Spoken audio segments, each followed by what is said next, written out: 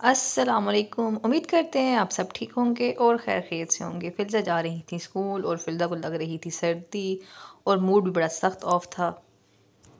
लेकिन मैंने कभी फिल्जा का मूड नहीं देखा, इसलिए कभी नहीं देखा क्योंकि अगर मैं फिल्जा की बात मान लूँ कि आज मैं स्कूल नहीं जाना या मेरा मूड ऑफ़ है तो उसको आदत पड़ जाएगी।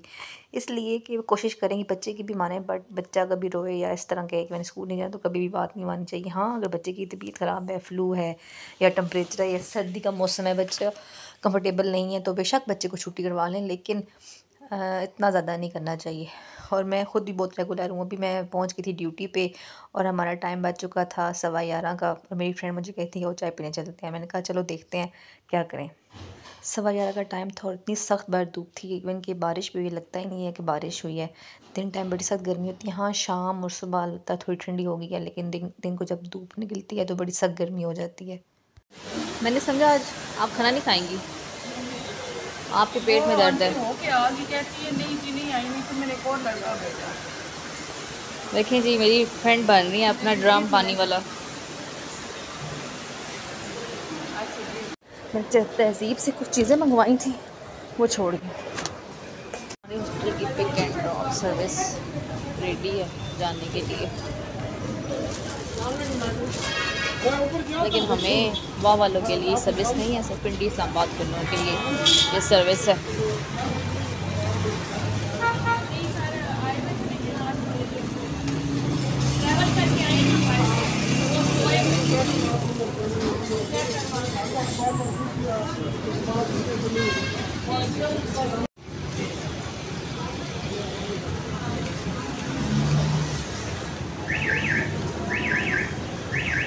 हमारी गाड़ी आ गई अंकल की।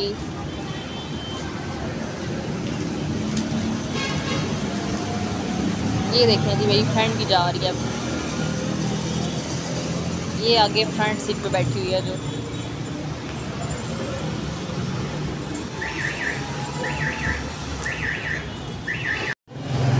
जा रही हूँ।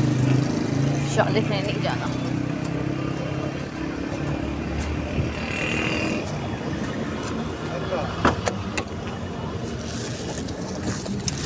शाले तो नहीं जाना अल्लाह करे गुर्रा मोड़ में से रश ख़त्म हो जाए। पता नहीं कब ब्रिज कंप्लीट होगा। इस वजह से हम लोग इतना लेट हो जाते हैं। मगरब की नमाज़ भी रस्ते में ही हो जाती है। क्योंकि आपको पता है कि अब मगरब जल्दी होती है। हमारे घर पहुँचते पहुँचते इतना अंधेरा हो जाता है। ना नमाज़ पढ़ सकते हैं ना अगला टाइम होता है ना पिछला टाइम होता है। कैफ़े। मैं आई हूँ मल्टी उतरी हूँ। मैंने लेना था दूध। मम्मी को चाहिए था थोड़ा सा दूध एक्स्ट्रा क्योंकि वो दूध जमा हुआ था लस्सी के लिए ना तो मैं कहती हूँ बस पड़ा रहे था, थोड़ा सा दूध का मैं तो ले उसमें डाल दूँगी। दूध में ताकि लस्सी और मक्खन बना लें तो मैं बस वो लेने आई हूँ अभी।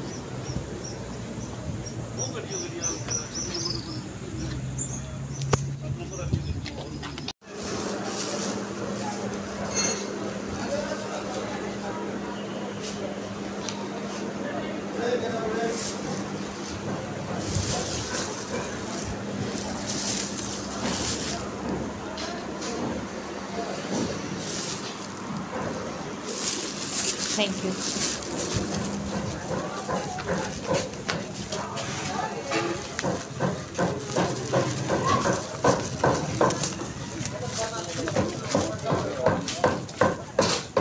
देखें। अच्छा। एक किलो देते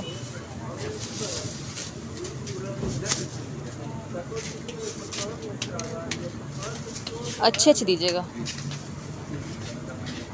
महँगे नहीं कर दिया आपने?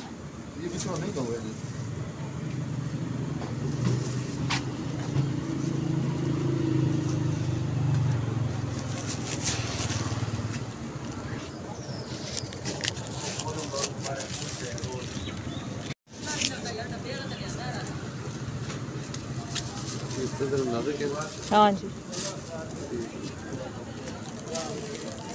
थैंक यू मज़े का फ्रूट है माशाल्लाह।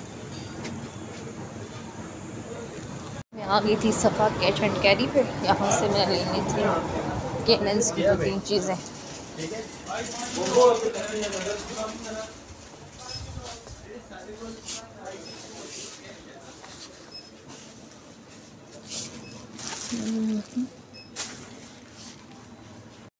मैंने सीख कबाब लिया है, ये जापानी फल लिया है और दूध लिया है। स्लो आहिस्ता चलें जी। आपकी भी सेफ्टी है, हमारी भी सेफ्टी है। देखें जी, यहाँ से आप व्यू चेक करें। कितना अच्छा लग रहा है, माशाल्लाह। मैं पहले भी एक दिन खड़े होकर यहाँ पे वीडियो बनाई थी। वेट कर रही हूँ अंकल का।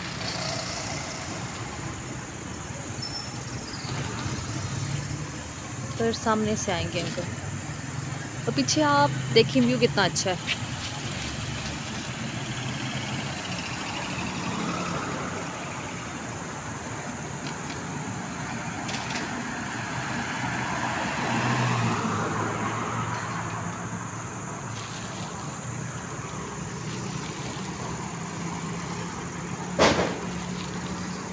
मैं घर आई तो मैंने सोचा कि आज कुछ बनाऊँ, क्योंकि मेरा दिल कर रहा था चटपटा खाने का। तो मैंने सोचा, क्यों ना मैं आलू वाले कबाब बनाऊँ? तो मैंने बस आलू रखती बॉयल होने के लिए। मैंने कहा बॉयल हो जाए तो फिर कबाब बनाती हूँ। मैं आलू बॉयल करने के लिए एक घंटा रखती हूँ, क्योंकि जितना ज़्यादा आलू बॉयल होता है, उतना अच्छा मैश होता है। तो बस आलू ने एक घंटा लिया और आलू बॉयल हो चुके थे। और साथ ही मैंने कटिंग कर ली थी, प्याज, टमाटर काट लिया था, उसमें मिर्ची वगैरह डाल दी थी, मसाले जो भी डालते हैं सारे। हाँ उसमें अजवाइन भी डालती हूँ। अजवाइन से ही होता है कि टेस्ट बड़ा अच्छा आता है। तो क्योंकि ये जैसे ही आलू, जितना आलू बॉयल होने में टाइम लेते हैं, उतना टाइम सेव करने के लिए मैं पहले चीज़ें काट के रख देती हूँ ताकि टाइम सेव रहे। मेरा बस आलू मैंने निकाल के ठंडे की और उनको छिलके उतार के छिलके उतार के उनको मैश करना शुरू किया। मैश करके तो फिर मैंने इसी टिक्कियाँ बनाई। और ये जिससे मैं मैश कर रही ये मैंने अपना मार्ट से लिया था, ये बहुत अच्छा मैशर है। जैसे पहले मैं अपने हाथ से करती थी आलू मैश मुझे मिर्चें लगती होती थी हाथों पे ना। तो मैंने ये ले लिया, इससे मैं बहुत इजी होती हूँ, मुझे बहुत हेल्पफुल होता है। तो आलू मेरे मैश हो चुके थे और अभी मैं बस बनाने लगी थी टिक्कियाँ। टिक्कियाँ बना के फिर मैंने फ्राई करनी थी और मैं मोस्टली आलू वाले कबाब जो बनाती हूँ ना, उनकी टिक्कियाँ बना के तो मैं पहले रख देती हूँ, फिर मैं ताकि थोड़ी सी हार्ड हो जाए, टूटती नहीं है। और फिर मैं तवे फ्राई करती हूँ। अक्सर लोग मुझे कहते हैं कि आप फ्राई पान में गए, लेकिन मैं तवे पे ज़्यादा इजी होती हूँ, इसलिए कि आलू वाले कबाब जो है तवे पे टूटते नहीं हैं, इसलिए मैं यहीं पर करती हूँ।